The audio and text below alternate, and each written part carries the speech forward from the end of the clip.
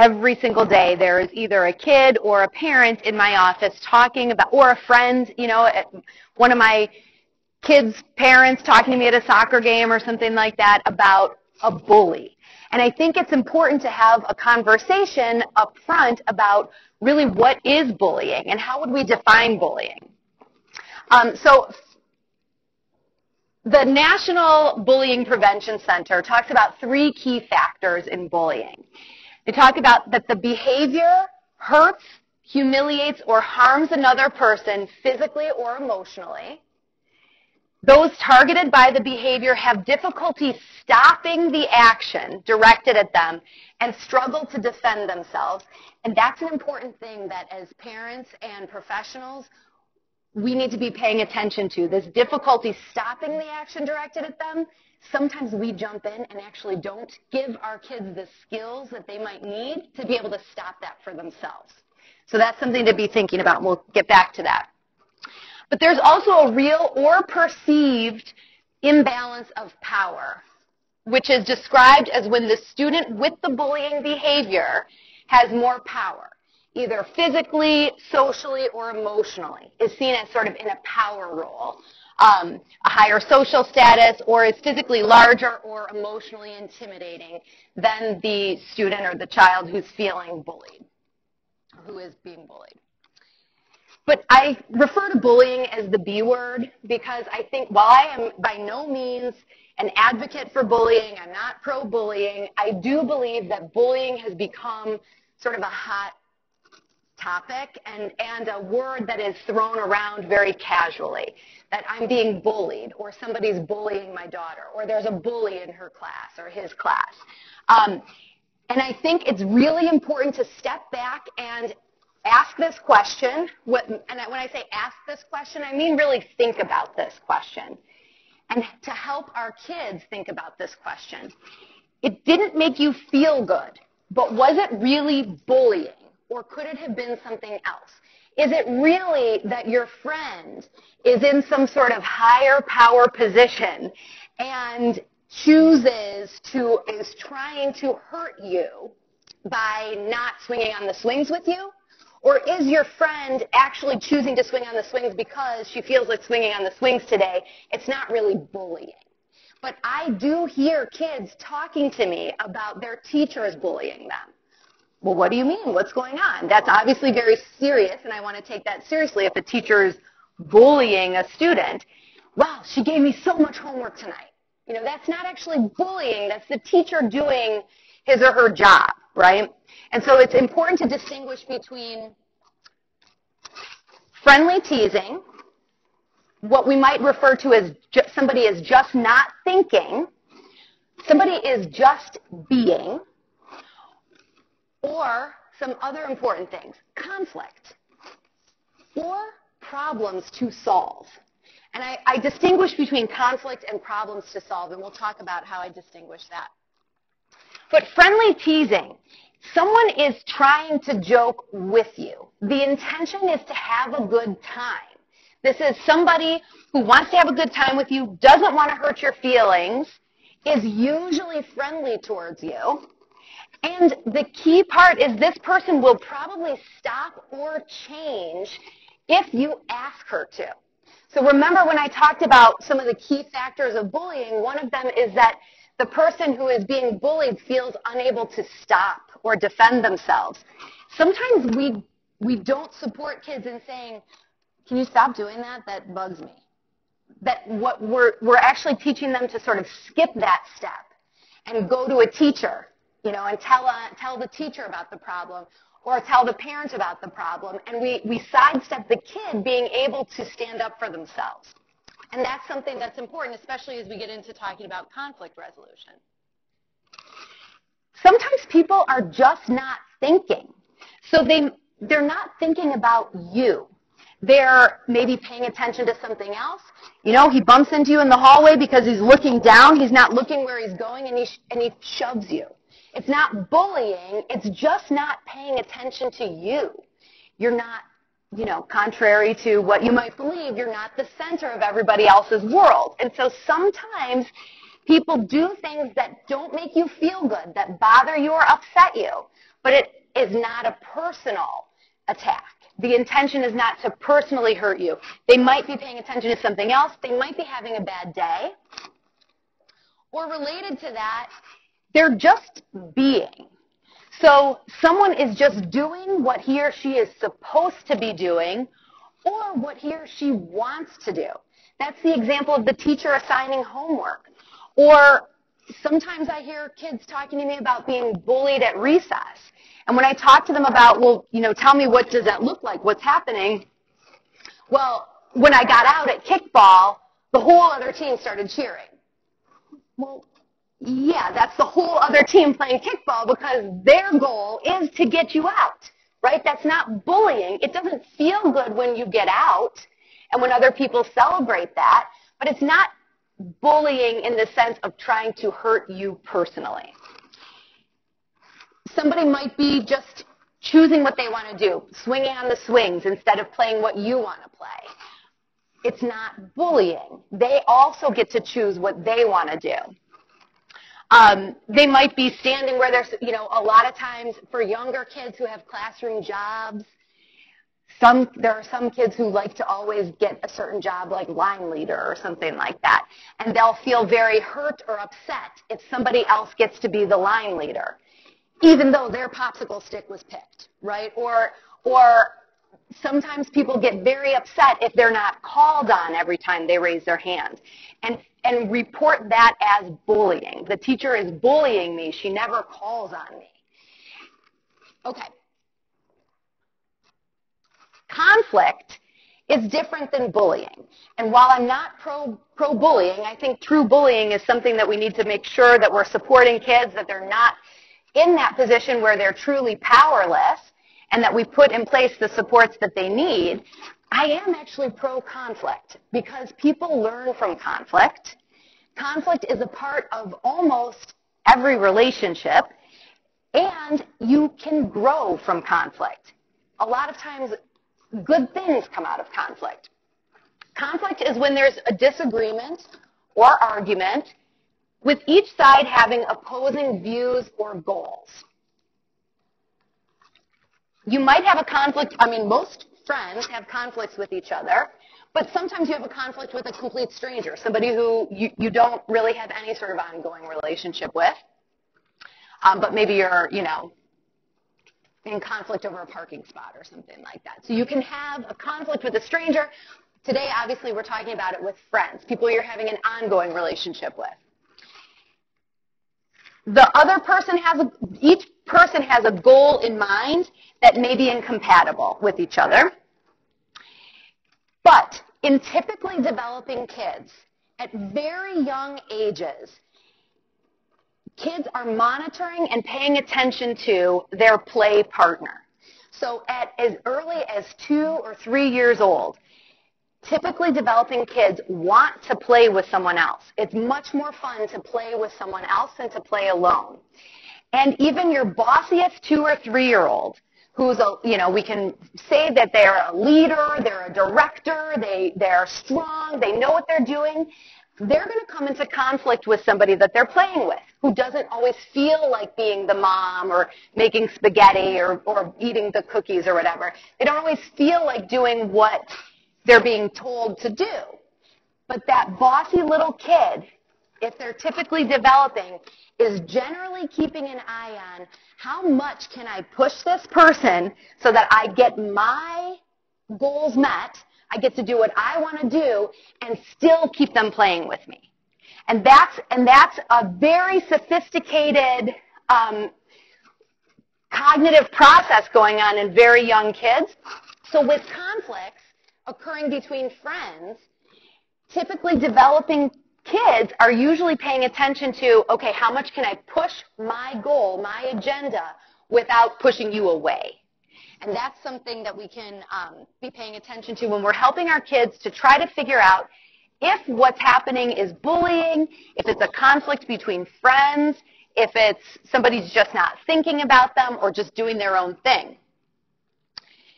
I think when conflict, when there are repeated types of conflicts, there are patterns in the types of problems that someone is having with an, in an, a relationship where they're considering this is my friend, this is an ongoing relationship, then that might be a problem to solve. This comes up a lot of times with, um, well, let's say you've got a sort of a natural born leader, right? And they, they always have great ideas for play. They, this is what they want to do. They're creative. They've got good ideas.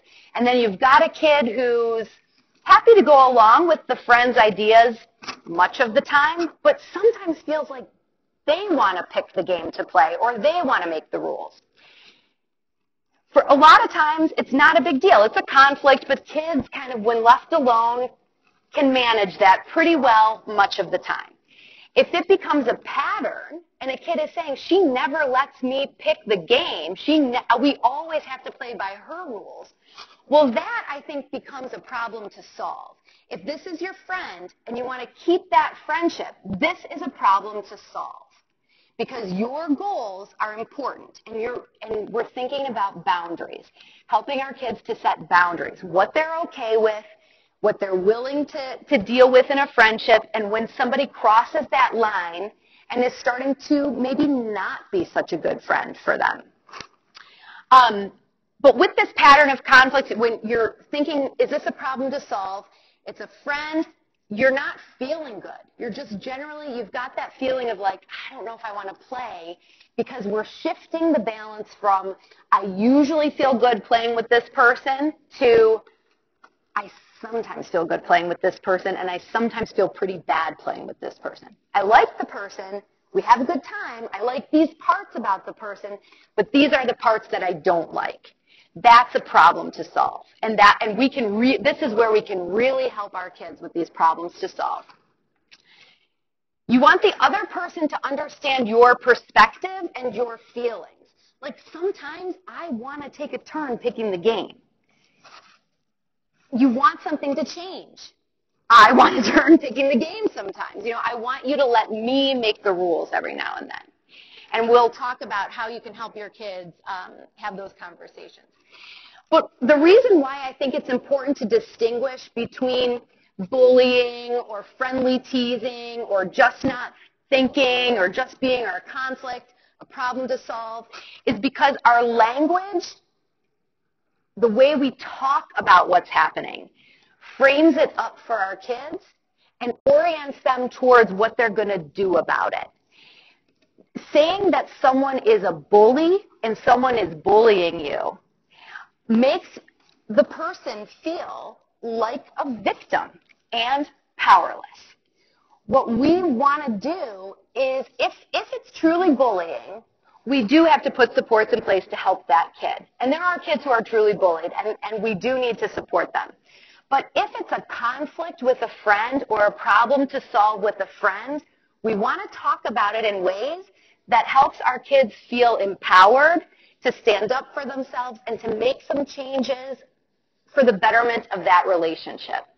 But when we say you're being bullied, that person's bullying you, it, it, it makes that kid feel like there's really not much they can do about it, but they need an adult or someone else to step in and intervene. So how we talk about it is important, and how we react is important if a kid comes home complaining about somebody not being nice to them, or if you witness something, you, you know, you're seeing your kid playing with somebody, and you witness something that you think is not very nice, if you go right in there and, you know, the kid goes home and you say, I saw him grabbing all your toys and he wasn't sharing with you at all and it, he was being really mean, or did you feel bad? Did you think he was being mean? Do you want to keep playing with him? If you're asking questions in that way, you're sending your child one of a couple different messages. One message might be that your friend is mean, and it might not actually be something that bothered your kid. So going back to that natural born leader, there are some kids who enjoy playing with leaders because those leaders come up with really good creative ideas, you know, maybe they're maybe in their family they've got a big brother or sister who takes charge and they're comfortable being in the role of follower. They like it. But maybe you're more of a leader. And so if you see your kid being kind of bossed around by somebody, you're seeing it as being bossed around. Whereas the, your kid might not see it as a bad thing at all, might see it as, this is fun, she comes up with the best games, right? So it might not be a problem for your kid. And if you're talking to your child about it like this is a bad thing, your child's going to feel like, oh, maybe I was misinterpreting that person and my time with that person. Maybe it's not fun. Maybe I'm not having a good time. Kids also learn very quickly to respond in ways that grabs their parents' attention. So that, let's step aside from bullying and peer relationships, but if you think about um, a kid who's complaining of a stomach ache, you know, and they're saying like, my tummy hurts. And you kind of watch them, and they're playing pretty typically. And they're like in a pretty good mood, and they're jumping around, and they're asking for snacks and things like that. Their behavior is telling you that they feel okay. But when you say, how's your tummy? Right away, it hurts, kind of hurts, right? They go back into that sort of, oh yeah, it doesn't feel so good role. But they're acting well, you know, and so that's something that I think we have to be paying attention to is, are we asking questions and giving our kids a ton of attention especially this comes up with, like, let's say a kid comes home and says they've been having trouble on the bus with Bobby. If your first question when they walk in the door is, how was Bobby today? Was he mean to you? Was Bobby, did Bobby do anything on the bus? Your kid's going to learn that talking about Bobby and all the nasty things he does is highly rewarding because it grabs your attention. You're going to get involved in this long conversation about it. And so you may not really get an accurate representation of how your kid's feeling about it when you're asking about Bobby. When you're just kind of going kind of casual with the evening and your kid brings up, Mom, do I have to take the bus tomorrow? You know, that's when you start to think, hmm, why is he talking about that? You know, I don't know. I, I think so. I mean, you usually take the bus. What's going on? well, Bobby, he's always doing blah, blah, blah. That gives you a sense that this is something that maybe is bothering your kid, and it's and you want to go down that, that path and have that conversation, explore.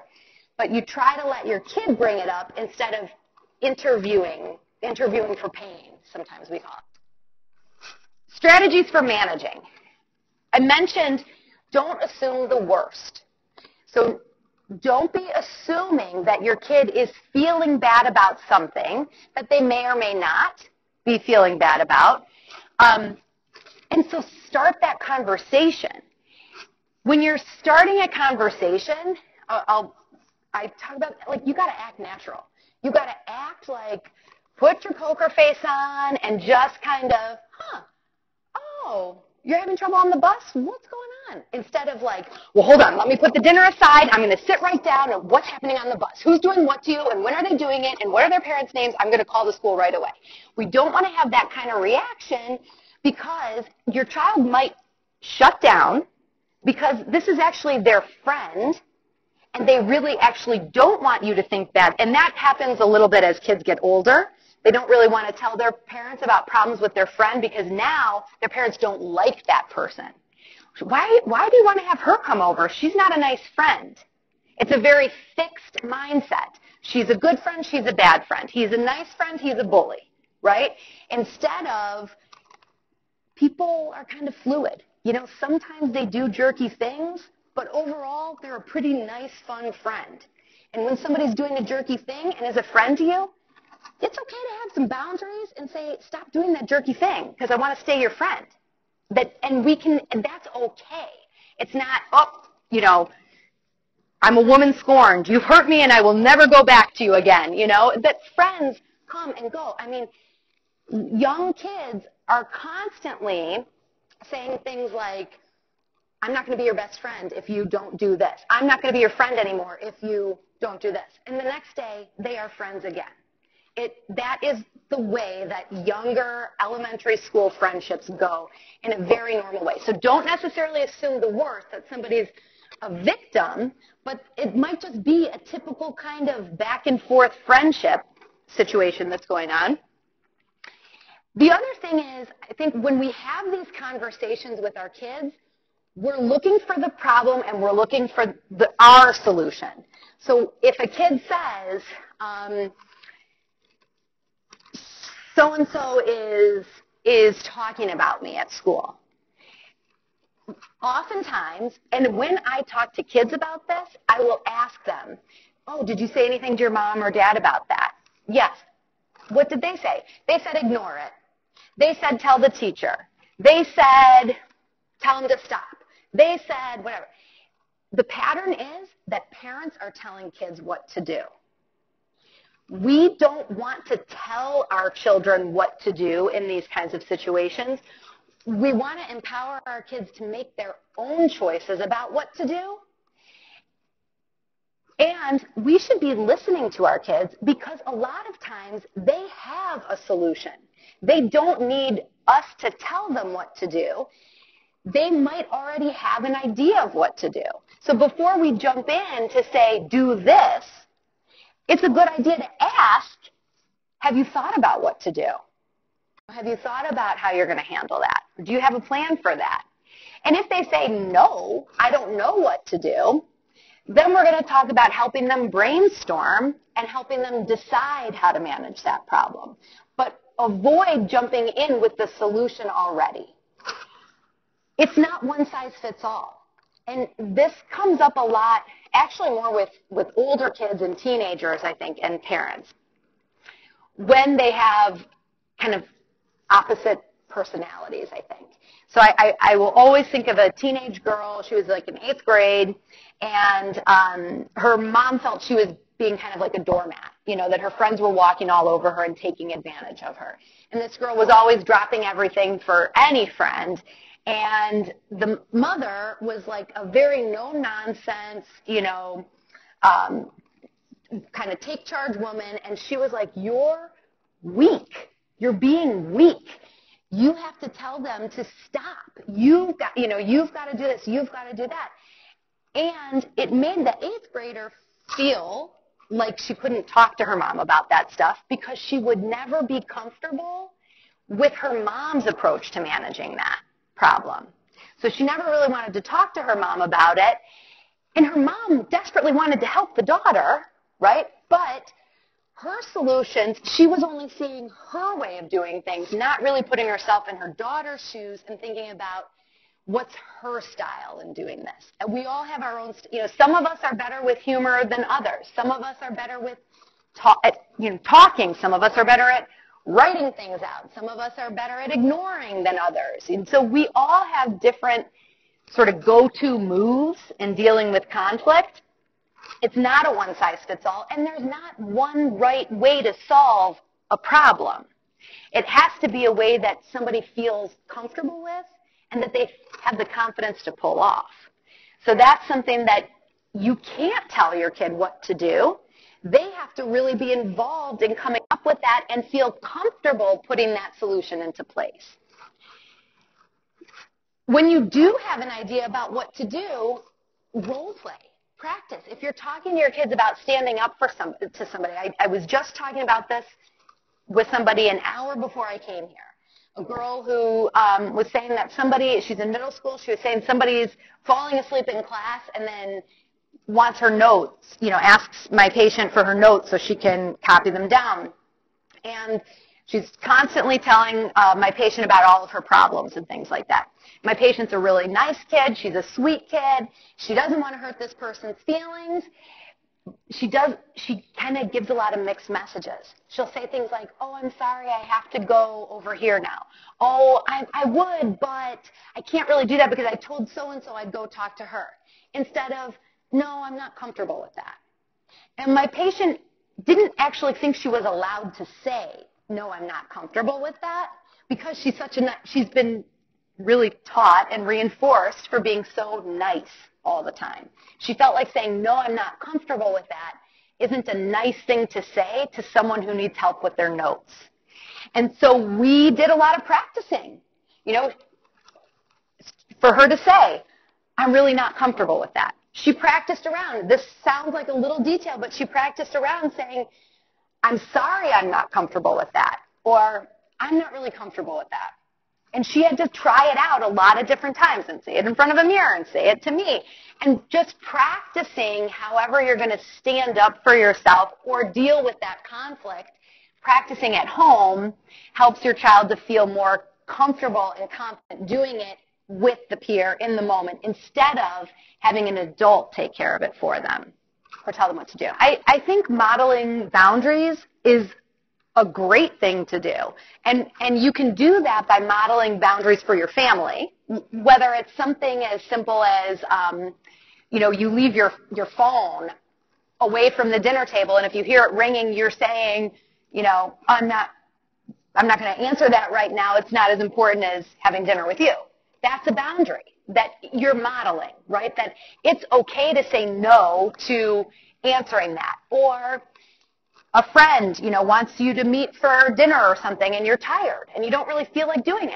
Saying, I've a really long week. Let's pick a different time. And telling, you know, making it obvious, talking to your partner, saying, yeah, she invited me to dinner, but I just really didn't want to go, so I told her we'd have to pick a different time.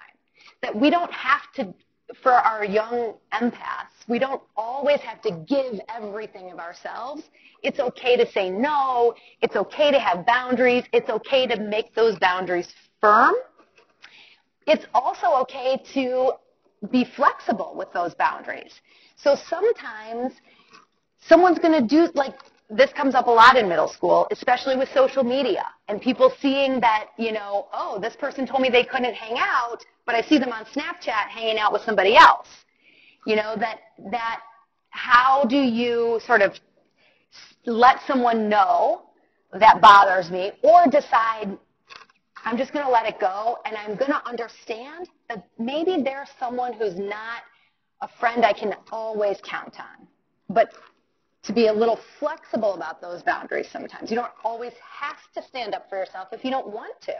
You don't have to, but you, it's okay to personally recognize someone let me down. And I, and I might not let them get away with that for too much longer. Does that make sense? Um, but, and so we are modeling, and we're practicing these kinds of standing up for yourself at home. We're reinforcing strategies as, as much as is possible. So a lot of times in families, we do friendly teasing just as a family. Or, and, you know, some families are different than others. My family, we do a lot of friendly teasing.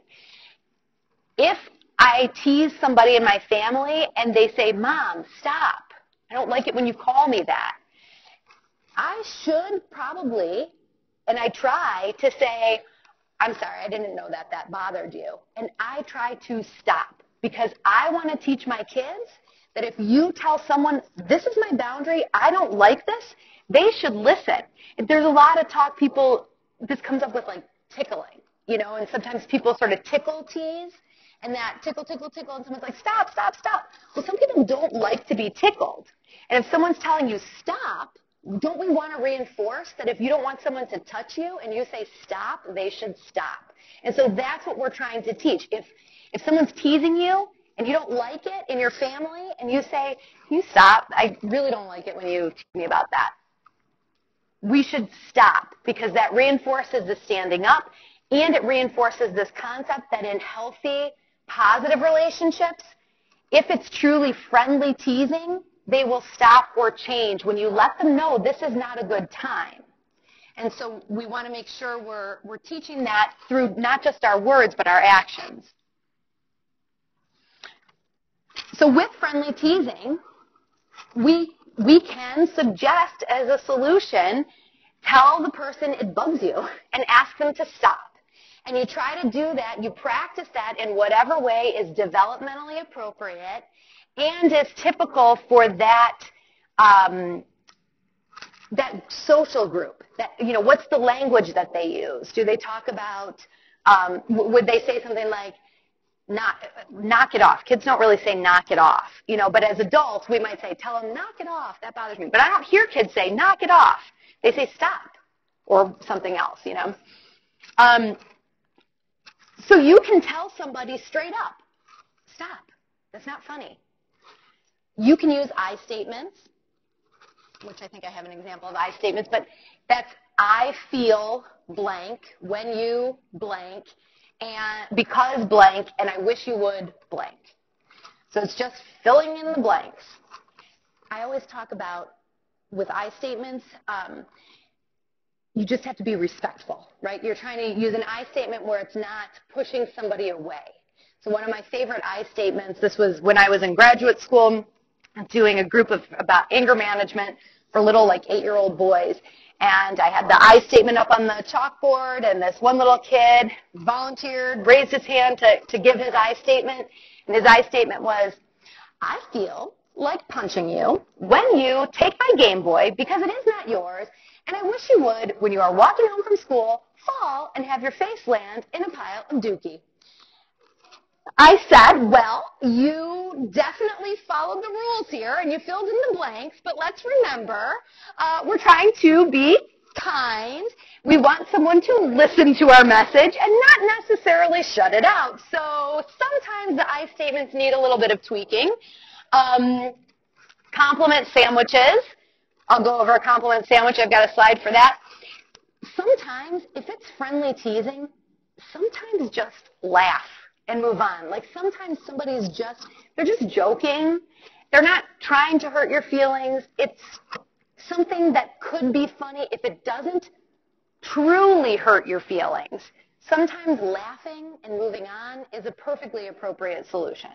If it hurts your feelings, if it's something that's kind of like a sore subject for you, then maybe that's a problem to solve as opposed to this friendly teasing where you just move on. So this is a nice statement. Compliment sandwiches. It's, you know, you say something positive, you state the problem, you suggest a solution, and then you say something positive again.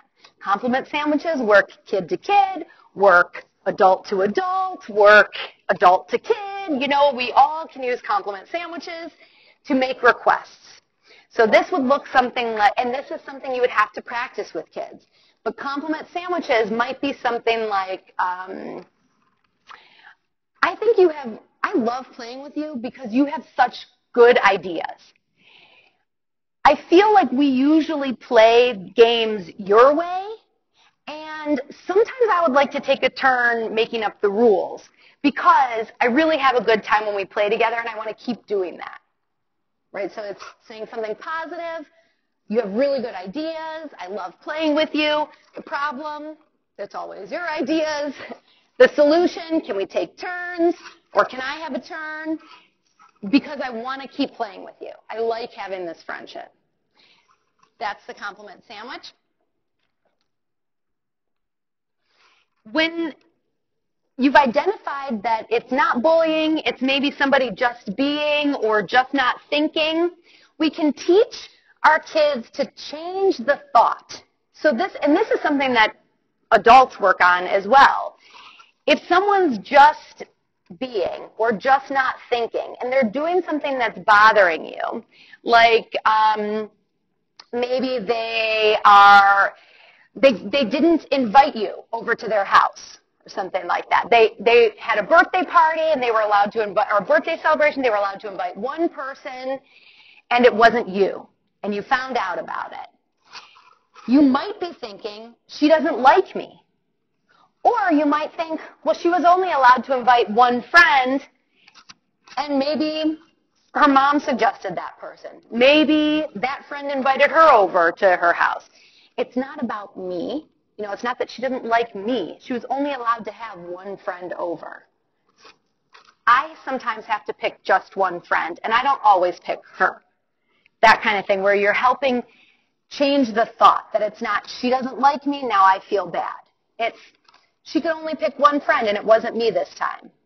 We're still friends. I feel okay putting yourself in somebody else's shoes. So like I've had to only pick one friend. Some, my parents have told me I could only have one person come over and they didn't want to have to drive anybody and so they told me I had to pick somebody in my neighborhood who could walk over. Something like that. That you know, this sometimes this happens.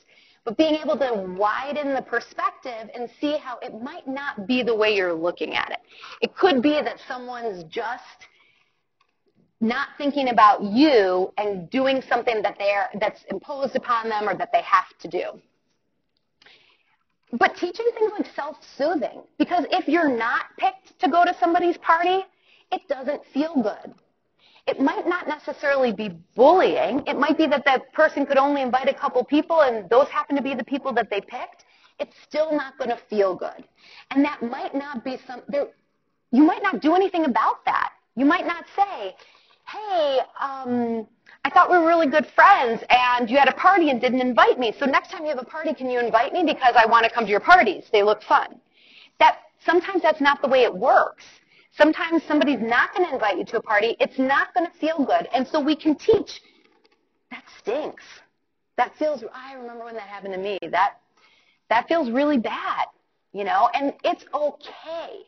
It's okay for our kids to be hurt by their friends from time to time.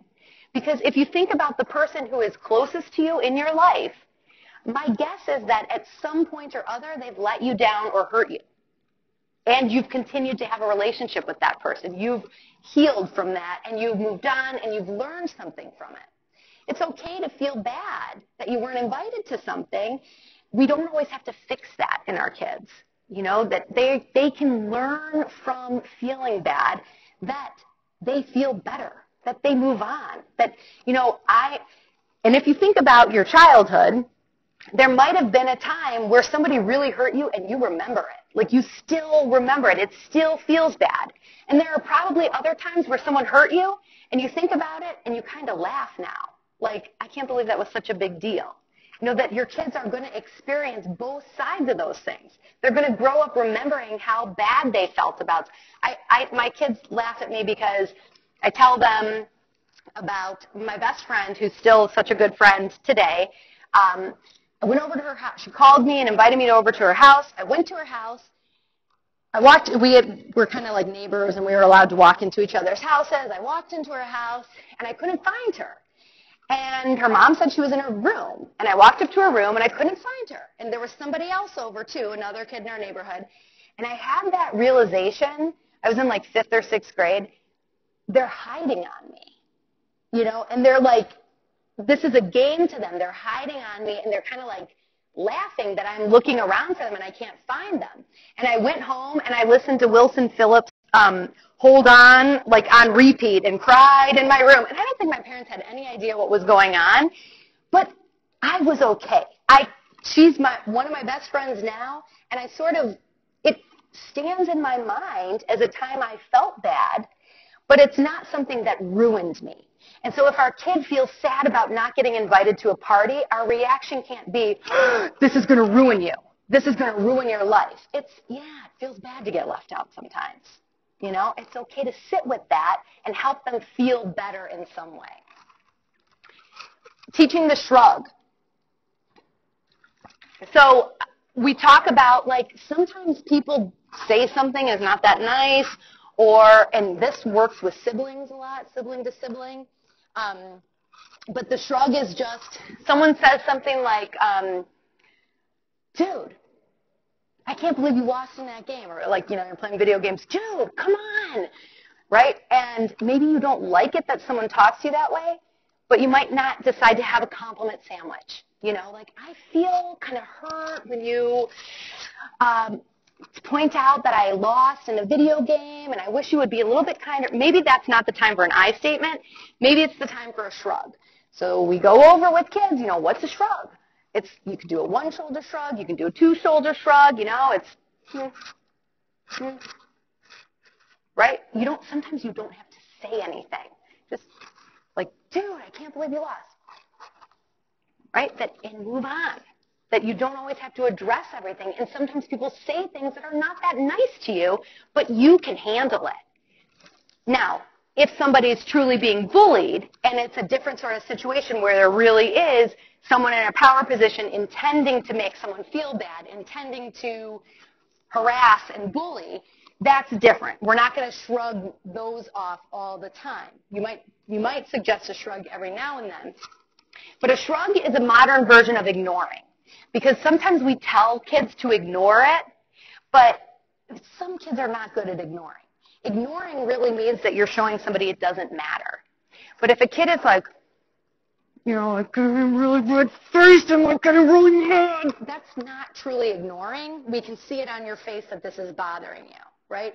But this is why I think it works a lot with siblings. Because if you can teach them like, you know, just sort of a, a shrug and a sigh kind of thing, it gives them something to do with that uncomfortable feeling, but it's not like a huge upset reaction that's going to be reinforcing for somebody else. Um, and moving on, uh, this story is called, I love this story, it's called A Heavy Load, and I found it in a book called um, Zen Shorts. It's about two monks who are traveling on down the road, and they come across a very wealthy woman and her servants, and they're carrying her shopping bags, and she's on a sedan chair, and they come across this really like muddy area, and she can't get across the, the area, her servants can't get her across without damaging like her packages or whatever. And so the older monk, an old monk and a young monk, the older monk walks over, puts her on his back, carries her across to like dry land safety. The old monk, she's rude. She doesn't say thank you. She just kind of walks away um, with her servants and her packages and everything. Splashes mud in his face, whatever the old monk and the young monk continue walking down the road, and the young monk, after a little while, says, I can't believe her. You helped her out. She was so rude. How is this not bothering you? And he says, I put her down miles ago. Why are you still carrying her? And that can be a powerful message for some of our grudge holders. You know, some, sometimes there are conflicts that are really like not a big deal, if it's a big deal, that's a problem to solve. We're going to handle it differently. But if it's not a big deal and you've got a grudge holder who holds on to every little injustice when it might be somebody's just being or just not thinking about you, that's when we can tell them, let it go. You know, you don't have to carry that around with you. You don't have to hold on to all these uncomfortable feelings. You can just let it go. And so you can teach, teach it in a number of ways. That story is one of them. But when we have conflicts, we can teach our kids negotiating. And many of our kids already know how to negotiate, right? For a later bedtime or another snack or dessert or more screen time or something. They're actually pretty good at negotiating. And so when you're talking about modeling, you know, and boundaries and things like that, I'm actually a parent who puts up with a lot of negotiating because I think long term. I want my kids to be good negotiators. I want my kids to be good at knowing this is what I want and I'm going to learn how to respectfully ask for it or get a little bit more of what I want. I actually kind of appreciate that in kids. I don't appreciate it when I'm trying to just get my kid to bed and I don't want them to come out of their room anymore, but I do appreciate it when I think about them as an adult or when I think about them trying to get a little more of what they need from somebody in a, in a health, in a positive way. So negotiations, if your kid doesn't already know it, you can teach it. If your kid does know how to negotiate, teach them how to negotiate in a respectful way. So you reinforce it by, like I was talking about, you know, if your kid says, hey, can you stop, that's bothering me, you say, oh, I'm sorry, I didn't, didn't know that was bothering you, I'll stop calling you that. With negotiations, if your kid's offering a respectful, you know, negotiating in a respectful way, coming up with a compromise or a, hey, what, if, if I do that, would you let me do this? And it seems reasonable, make kind of a big deal, not a big deal, but point it out in an intentional way, you know, that seems pretty reasonable. I don't see why I can't be flexible here. That sounds good to me. You know, so you're, you're reinforcing that ability to ask for what they want in a respectful way, if it's reasonable for you. Compromises. You know, kids know how to compromise. Kids know how to find a fair way if you ask a kid, like, how do you figure out who's going to be it, it at recess, they'll tell you, oh, we do blue shoe, blue shoe. We do rock, paper, scissors. We do this, we do that. They've got their own ways of finding a fair way. They know how to take turns. And so don't worry, because most kids are actually very good at all of those things if we let them do it. And that's where I think we as adults kind of get in the way. There's a lot of adult structured activities around kids. You know, we, we talk about this all the time, right? Our kids aren't just running outside in the morning and coming home when the street lights come on. They're going to school. They've got recess monitors at, at recess. They're coming home. They're going to soccer or they're going to some sort of structured activity or daycare or something like that where there are adults there to referee and monitor. And so they're not actually left to do a lot of this on their own. I also think when we live in a house that's like kind of more of an open concept, you know, when our kids are like always there, we jump in more often than we need to. We kind of have this feeling, I think, as parents, like if one of our kids with siblings, siblings practice a lot of conflict resolution with each other. If one sibling says something like, you know, mom, she took my whatever, num noms, we feel like we have to respond. But the truth is we don't actually have to respond. We don't have to say, give her back her num-noms. We don't have to put an order in place. We can say, oh, and walk away and let them figure it out. It feels really weird to just say, oh, did she? But when you say that, you're sending the message to your kids, you can figure that out. I think you can handle this, right? And, and you walk away. Um, so when we have problems to solve, we talked about boundaries. It is okay to teach in relationships that you have boundaries. Boundaries are taking, it's taking care of yourself. You know, it, everybody has boundaries that helps them feel good. It helps me feel good to have boundaries. It helps me take care of myself to have boundaries. It helps take care of our friendship when we each have our own boundaries. You can make them, you can keep them. When we have problems to solve, we want to identify the problem. So a big part of that is defining what is the problem. You know, is the problem that somebody is taking advantage of you or not listening to what you want to do or making you feel bad about something or whatever it is. But we want to make sure that we're actually helping our kids identify the problem. That's where we can support is to identify the problem and then we can invite our kids to, to solve the problem. Like, is that something that, have you thought about what you're going to do? Do you have any plans for that? We can then work on it. So if they say, I don't know what to do, we can help offer suggestions and brainstorm. So what we talked about, like I talked about if you're observing it on a play date, kind of as opposed to just jumping in and, and taking over or telling your kid later, I saw him not being nice to you. I heard, learned this from a teacher, and I think it's a great um, reminder for us as adults. But she talks about in their school, they teach their teachers to wait. And wait means, why am I talking? And I think that's when we're, when we've observed something that we think might not be very kind behavior or might be a conflict or a problem to solve with our kid and a friend, we might want to just wait and see if our kid brings it up or see, or wonder, you know, like, I saw um, that you had some ideas for what to do, and Sally didn't really want to do your ideas. I wonder if that ever makes you feel bad, or I wonder, I wonder how you feel about that. Is probably a better way to ask it. But wonder instead of assume. And, and you can ask your kid, how do you feel about that? Or does that happen? Do, does that happen a lot? Or do you, you know, whatever. Or you can even just say, what do you like about playing with so-and-so? And you get a different perspective of what they like about playing with that person.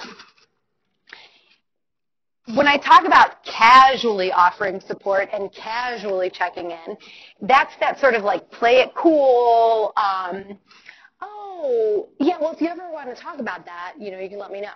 So you're just sort of planting seeds that you're not assuming that something's a problem in case it's not a problem for your kid, but you're sort of planting seeds that if it's something that they feel like becomes a problem, they can talk about it with you. You can, if you, if they've mentioned, yeah, I don't like it when they do that, you can casually check in about it. So that's not interviewing for pain where you're saying, um, did she do that again to you today? You know, do, how did she make you feel today? Was she mean to you today? But it's more like, so how are things going? You know, and then you can kind of get into it a little bit more specific, a little bit more specific, like, have you been, who were you playing with at recess? Or like, have you been playing with Sally? You know, how's that going? Did you ever try talking to her? Did you ever try that compliment sandwich? Did you ever try talking to her? How did it go? So you can kind of just, you're not saying, is she still mean to you, but you're just asking about how, how um, is the relationship moving on.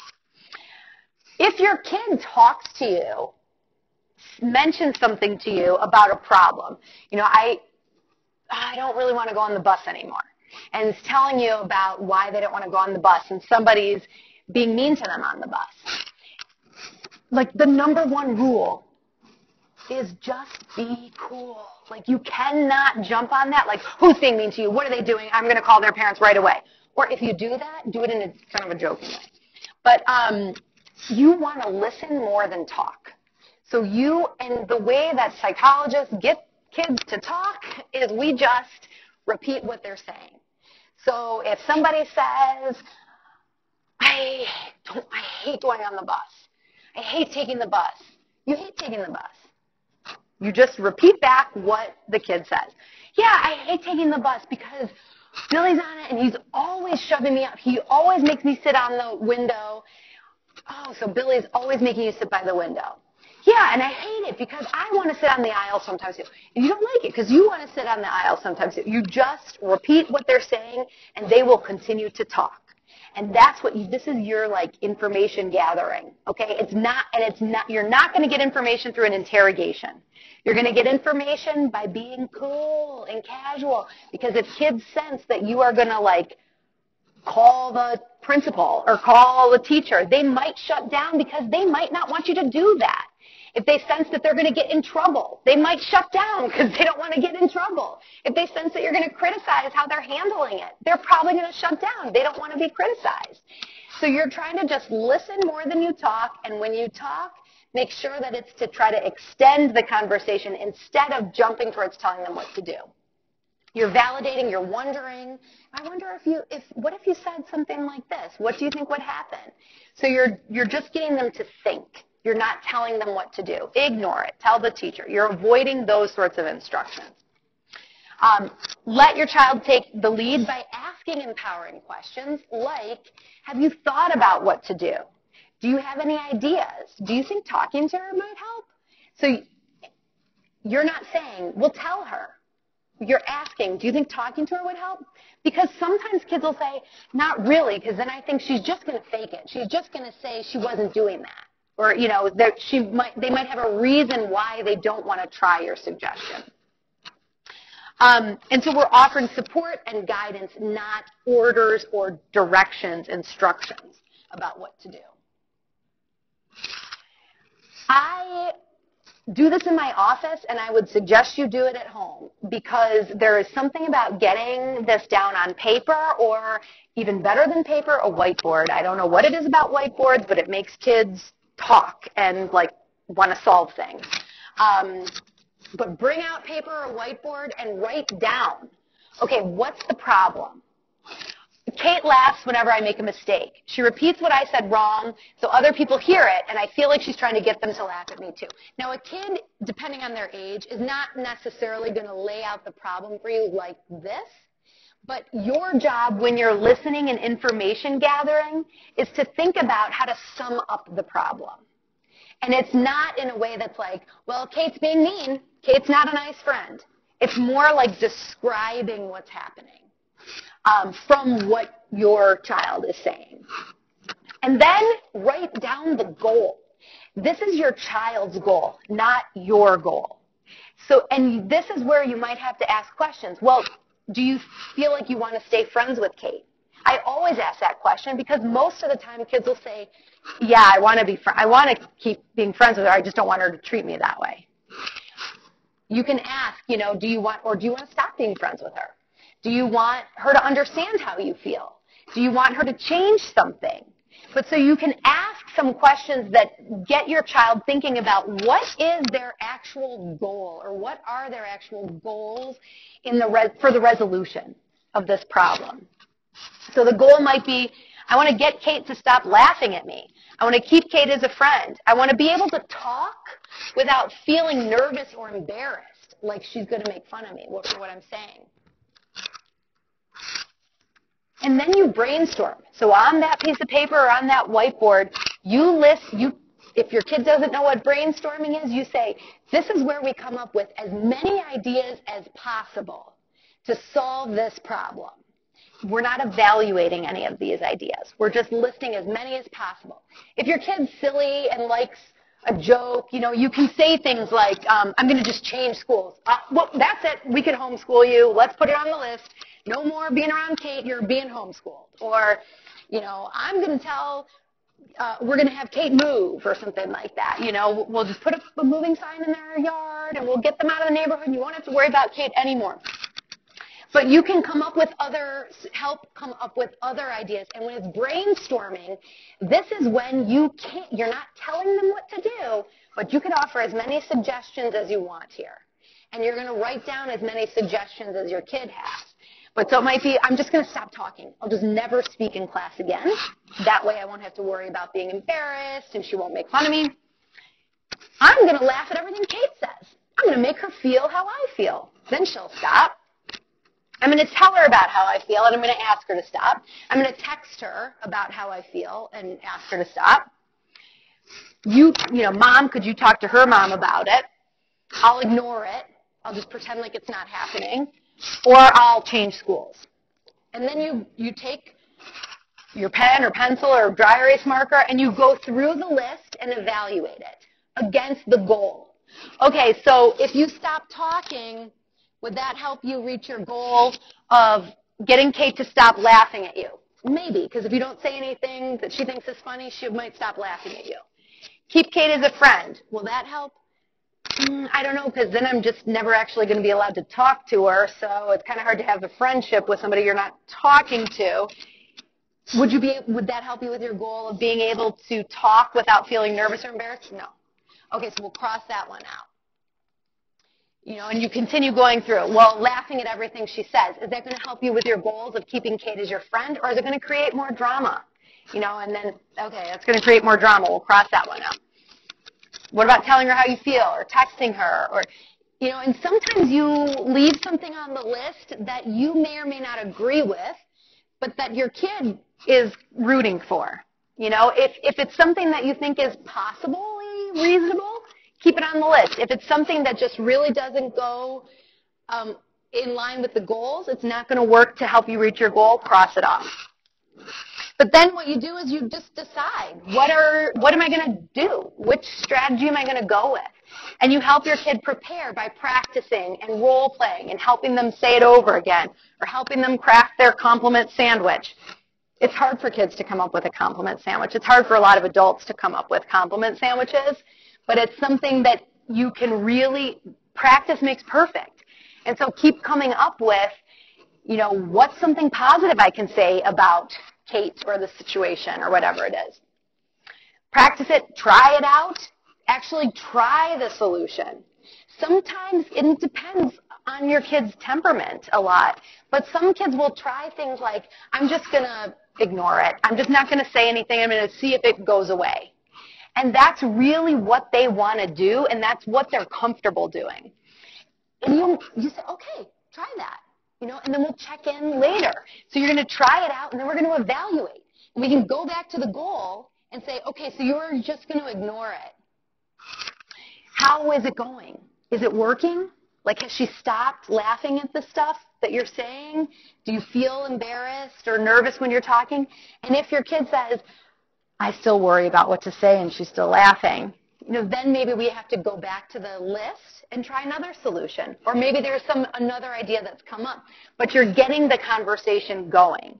And you're teaching the kid these steps to solve a problem. And when kids are younger, it's usually easier problems to solve. And when they get older, they're tougher, trickier problems. But if they're practicing, they're getting better and better at doing this and feeling more comfortable solving these problems to, to make sure that they're maintaining their boundaries and keeping healthy friendships. Uh, okay. I think that there is a role for communicating with the school. I think if you believe, you know, you've had some of these conversations with your kid, you've observed some stuff, and you think there's a possibility that this could be actual true bullying, talk to the school about it. Not in a, my kid's being bullied and what are you going to do about it way, but more of a, I'm concerned about this. Can we try to figure out what's going on here? You know, and, and, and get the school involved in helping you figure out what's happening. Because sometimes what's coming home and being reported is not necessarily what's happening at school. Sometimes what's coming home and being reported is exactly what's happening at school, but people at school aren't necessarily aware of it. You know, and that's something where we want to make sure that we're keeping those lines of communication open. If you, if you need an, a perspective other than your child, so some kids are not great reporters of what's going on. And it's really hard to figure out, especially like so I work with a lot of kids with autism. And so sometimes kids with autism may be being bullied, but they're not act- they actually aren't interpreting it as bullying, but parents are concerned about it or but kids have a hard time reporting what's going on, or sometimes kids are thinking that they're being bullied and their perspective is really off from what's actually happening. And so we, we need other other people's perspectives to look at what's going on and make some um, some reports about what's happening.